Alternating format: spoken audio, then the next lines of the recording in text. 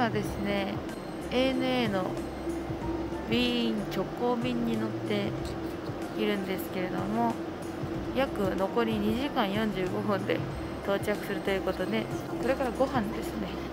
ちょっといろいろと紹介していこうと思います。今まで寝れましたのではい。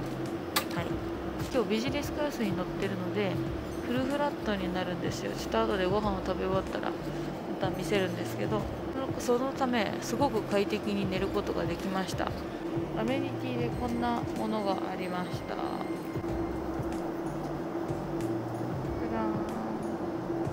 アメニティで石器製って読むんでしょうかこれ。の化粧水とクリーム。あとは洗顔ですね。がついてました。あとは使ってないですけどアイマスク。と使ってないですけど歯ブラシと耳栓まで入っております。ありがとうございます。ご飯はこちらになります。私はコンチネンタル料理っていうのを選びました。お母様は和食ですね。ご飯が朝ごはんとして出ております。いただきます。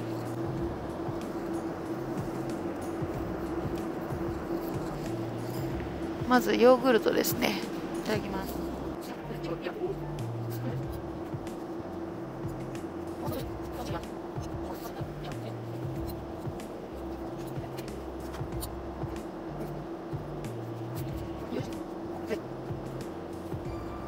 ーンスープを頼んでコーンスープが来ました。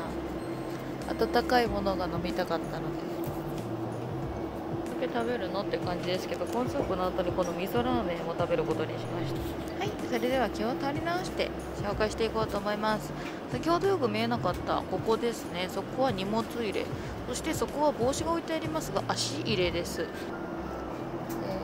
ー、椅子の前後邪魔しないであとはこれもあじゃ背中が出たり入ったりするんですね。これは椅子の前後。あとはこれが、えー、椅子がフルフラットになるということと椅子が上がってくるよっていうボタンなんですね。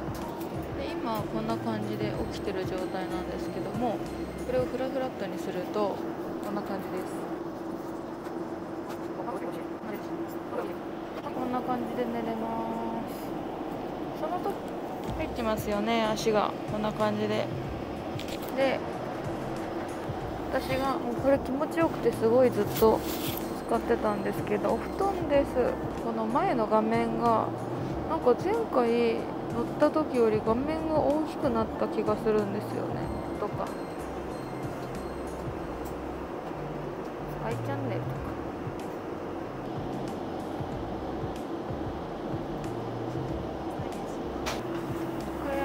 はこんなところから出ます。こんな感じです。明るくなって起きろっていう感じですね。なくなってしまうキッカのバームを買いました。バームはお母さんが買うっていうことではほぼ差し上げる形になります。これからですねあと2時間あるのでいろいろやっていきたいんですけどもまずはネイルシールをやりましょうということで今回この4タイプ4タイプのを持ってきております。